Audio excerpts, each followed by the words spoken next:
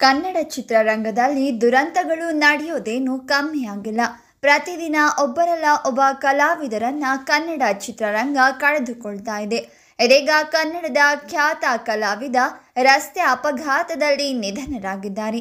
ಇವರ ಸಾವಿನಿಂದ ಚಿತ್ರರಂಗ ದುಃಖದಲ್ಲಿ ಮುಳುಗಿದೆ. ಹೌದು, ಭೀಕರ ಕಾರು ಅಪಘಾತದಲ್ಲಿ ಹಿರಿಯ ರಂಗಭೂಮಿ ಕಲಾವಿದ ಬೆಳಗಲ್ಲು ವೀರಣ್ಣ ಸಾವನ್ನಪ್ಪಿದ್ದಾರೆ. ತೊಗಲುಗೊಂಬೆಯಾಟ ಕಲೆಯ ಮೂಲಕ ವೀರಣ್ಣ ಅಪಾರ ಅಭಿಮಾನಿ ಬಳಗವನ್ನ ಸಂಪಾದಿಸಿದ್ರು.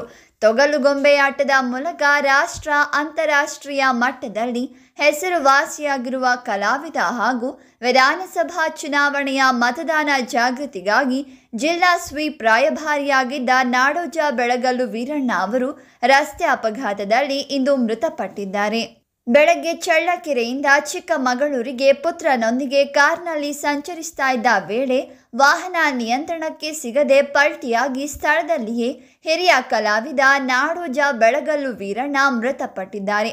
ಪುತ್ರ ತೀವ್ರತರವಾಗಿ ಗಾಯಗೊಂಡಿದ್ದಾರೆ. ಇನ್ನು ಕಾರನ್ನ ಸರ್ವಿಸ್ ಮಾಡಿಸಿದ್ದರು. ತಮ್ಮ ಮಗನ ಜೊತೆ ನಂತರ ಬಳ್ಳಾರಿಯಿಂದ ಚಿಕ್ಕಮಗಳೂರಿಗೆ ಹೊರಟಿದ್ರು. ಮಾರ್ಗ ಮಧ್ಯೆ ಕಾರಿನ ಚಕ್ರದಲ್ಲಿ ತಾಂತ್ರಿಕ ದೋಷ ಕಾಣಿಸಿಕೊಂಡಿದೆ. ಚಳ್ಳಕೆರೆಯಲ್ಲಿ ರಿಪೇರಿ ಮಾಡಿಸುವ ಯೋಜನೆಯಲ್ಲಿ ಹಾಗೆ ಹೊರಟಿದ್ದರು.